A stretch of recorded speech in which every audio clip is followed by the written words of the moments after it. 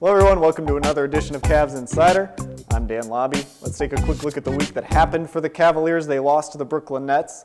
Then they came back and beat the Philadelphia 76ers, a game that was a little bit closer than a lot of people wanted.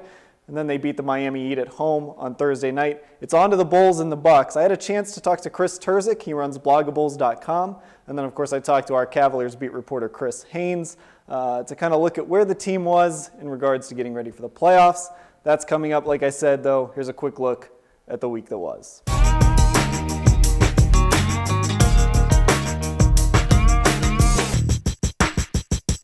All right, I'm now joined by Chris Terzic. He runs blogabull.com. Chris, thanks for taking the time. Hi, Dan. Thanks for having me on.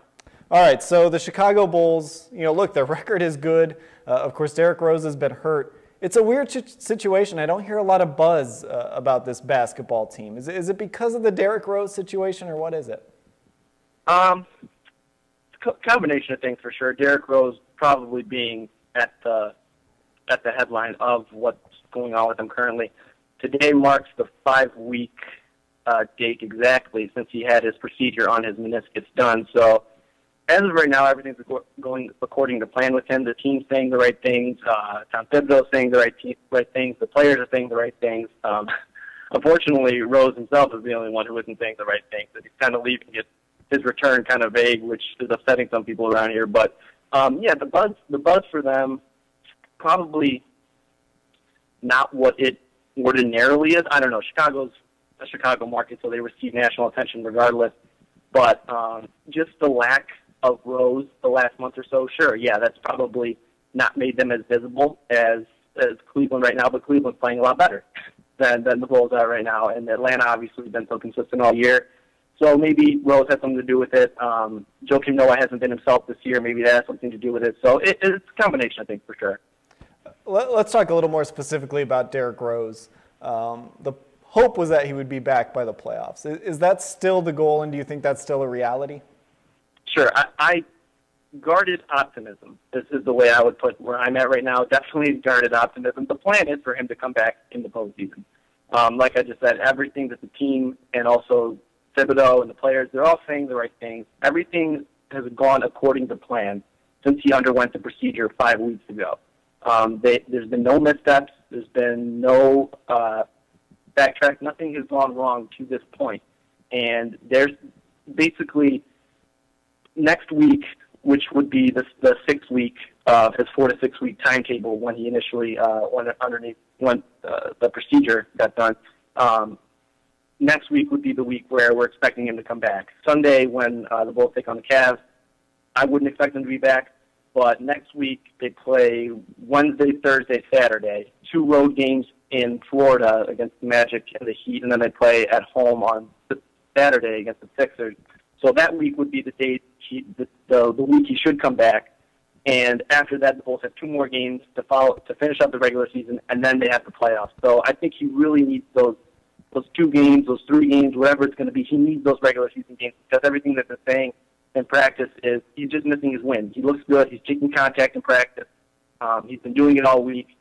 Uh, they just they need they need he needs that conditioning. That's, that's basically everything they've been saying, and what I believe too. He needs to get acclimated, adjusted to what the team's been doing since he's been out of the lineup. So he he needs those few regular season games, and I think he will be back for the playoffs. You know, to answer your question, I I, I believe he will. Um, there's nothing that the he has said or the team has said that would indicate otherwise. Chris, how far can this team go in the postseason with Derrick Rose and without Derrick Rose? With Rose, I, I would say anything less than an Eastern Conference Finals would probably be a failure. Um, unfortunately, no matter what in the second round of the playoffs, and looking at past their first round matchup, but if they were to reach, hypothetically, were to reach the second round, um, they would either take on Cleveland or Atlanta, and that's obviously no walk in the park. That the, the Bulls will not be favored in that matchup. They shouldn't be. Those Cleveland and Atlanta are the superior team to Chicago. I believe that, but I, I, I do think Chicago with those poses an interesting matchup against both of them. I don't think that they're um, at any large deficit in any one area of the court. I think both those, all three of those teams are the cream of the crop in the Eastern Conference. Then you get to the, the Washingtons and Torontos and Milwaukee's, and then you kind of start falling off a little bit. Without Rose, boy, um, a first round exit would certainly be a major disappointment, and then who knows what happens in the offseason. There's probably going to be a large overhaul, um, starting with the head coach on down, and then starting looking at the roster. Uh, I think without Rose, they can probably get out of the first round. It's all matchup dependent, though. Without Rose, the matchup is, is entirely what's going to determine where they go in the playoffs. If they get Milwaukee in the first round, I think they could beat them handily without Derrick. If they get Washington, which I think every Chicago fan, and I'm speaking for the majority of the fan base, and I think I sh- my sentiment is, is shared with them, we don't want Washington. That's that's the one that definitely want to avoid. If we get them without Rose, I I could see a repeat of last year in the first round exit. Real quickly, Chris, because you mentioned Tom Thibodeau. Um, if this team does come up short, you know, this guy has been probably as good a coach as we've had in the NBA, but at the same time hasn't quite gotten the Bulls for various reasons to uh, to where they expected to get to. What's his future hold? Yeah, that's a good question. Um, it's been something that's been talked about as much this year as it has in the past. Um, it's a pressing issue that's continually been in the headlines here in Chicago, and my stance on it is perhaps a little bit different than most. I think he's a great coach. First and foremost, I should preface that. I think Tom Thibodeau is a fantastic head coach, and um, you know he everything that he's done in this league, at, from his time as an assistant to his time with the Bulls as a head coach, has been great. I mean, he's been a revolutionary on the defensive end. However, having said all that, I do think what happens in the playoffs this year will determine his fate. But also another uh, contingency on that is he has two years left on his deal that he signed two years ago. He signed four-year extension two years ago, and he has $4.5 million annually he's owed the next two seasons. And the owner of the Chicago Bulls, Jerry Reinsdorf, um, preaches a, or it, the way they run that organization is, is very loyalty-based. Um, Jerry definitely has a commitment to Tom. Um, he owns the Chicago White Sox. This is going back a few, five, ten years now. Um, when Ozzie Guillen managed the Chicago White Sox, and Kenny Williams was the general manager there. Jerry Reinsdorf allowed those two to have their differences. It was a those two Williams and, and Ozzie Guillen had differences for sure, and just as well known as Tom Thibodeau's differences with this organization with the Bulls and, and, and the management. It, it's the friction is there; it exists.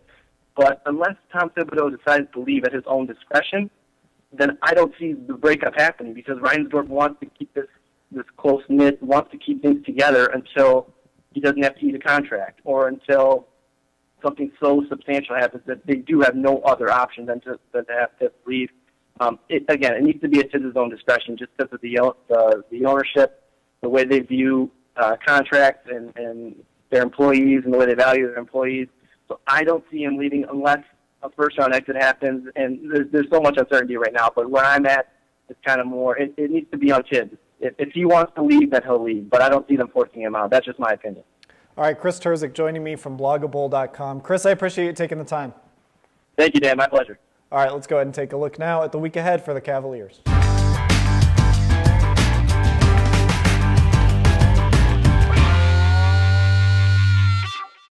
I'm now joined by our Cavaliers beat reporter Chris Haynes via phone. Chris, how are you? Dan, I'm doing good. How about yourself, man? I'm doing well. Uh, let's start with Kevin Love. There's been a lot of speculation about injuries with Love and his back in particular. Uh, didn't play yesterday against the Heat because of the back. It was an issue against Philadelphia. Should we be concerned about this? Well, it's been an ongoing problem with him all year. Should we be concerned? I would say a little bit because uh, I really do think there's a lot more to his back than what he's letting on. And I'm not talking about any structural damage. I'm just talking about just the just the pain that he must be enduring. But I really do think uh, his back, along with you know his knee his knee issues here and there, I really think has been uh, affecting his performance. Uh, you know, he's just not has been as physical as he's been, you know, in previous years. He, he's been roaming out there on the perimeter. A lot of that is because, uh, you know, the the isolation sets by Kyrie and LeBron and pick and roll setting, you know, it requires Kevin Love to be out spacing the floor. But I think a lot has to do you know, with just what he's able to do right now physically. And, uh, you know, he's still going to be able to get you some good numbers. He's still producing at a high level. Um, but with that being said, I do think the back is somewhat of a concern. Not a major one, but something to think about. Uh, Chris, you look at that win over the Heat. Uh, the Cavs have had their struggles against that team.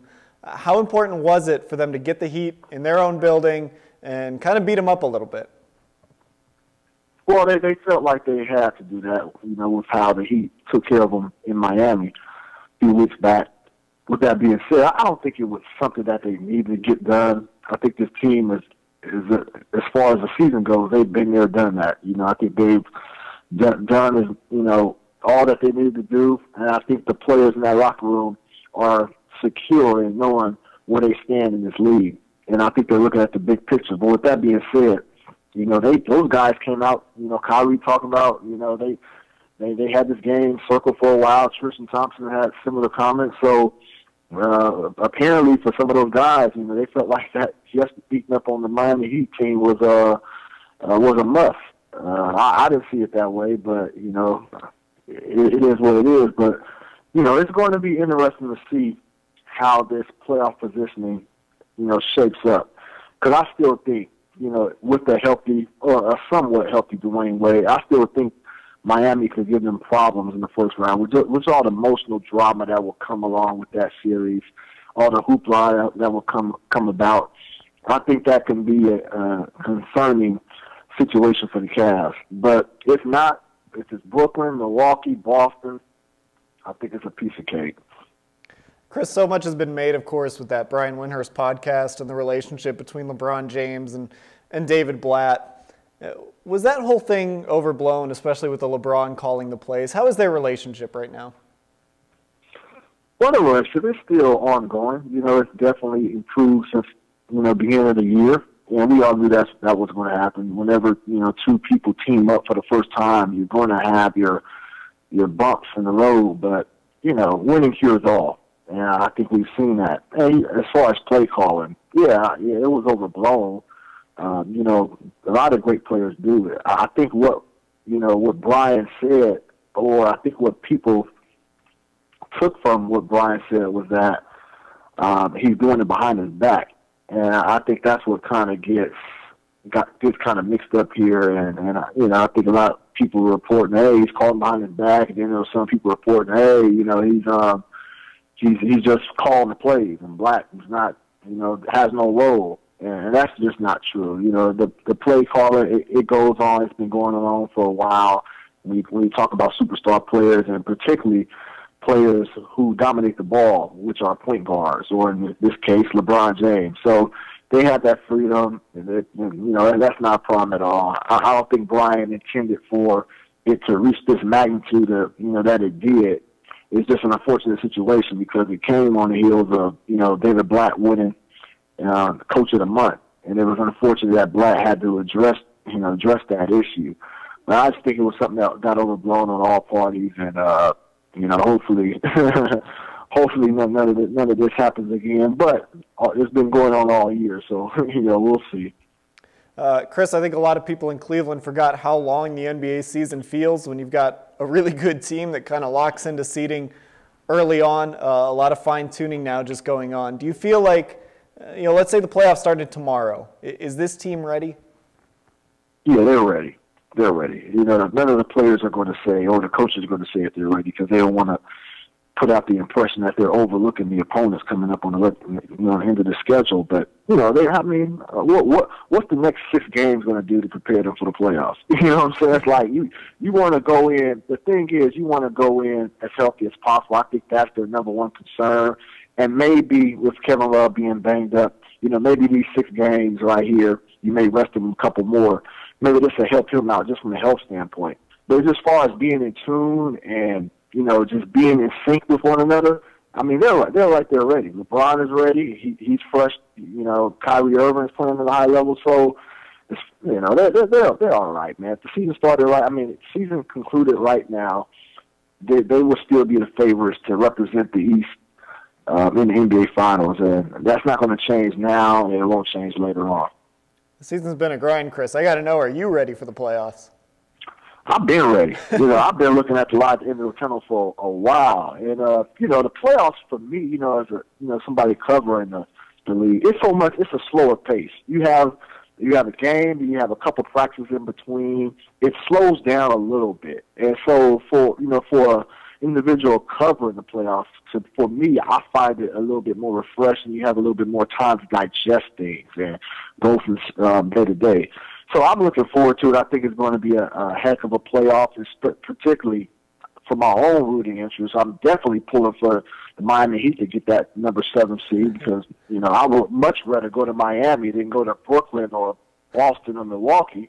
But nobody cares what I want. But you know I think it's going to be a compelling playoff series regardless. All right, Chris Haynes, our Cavaliers beat reporter, wishing for a trip to Miami. I can't say I blame him uh, after all the weather we've had here in Ohio. But come on, Chris, it's like 50 degrees today. Hey, well, look, you know, considering the weather we had, what January and February, hey, it looks like a sunny day today. So I'll take it, man. I'm not complaining at all. See, there you go. Chris Haynes, our Cavaliers beat reporter. Thanks for joining us, Chris. All right, take care, Dan. All right, and here's a quick look at the NBA standings.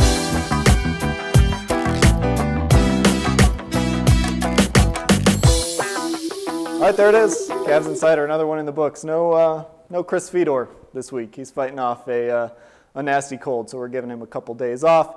So no fill in the blanks, no true or false, none of that fun SAT stuff. We'll be back with that next week. I'm Dan Labbe. My thanks to Chris Haynes and Chris Terzic. Thanks for watching.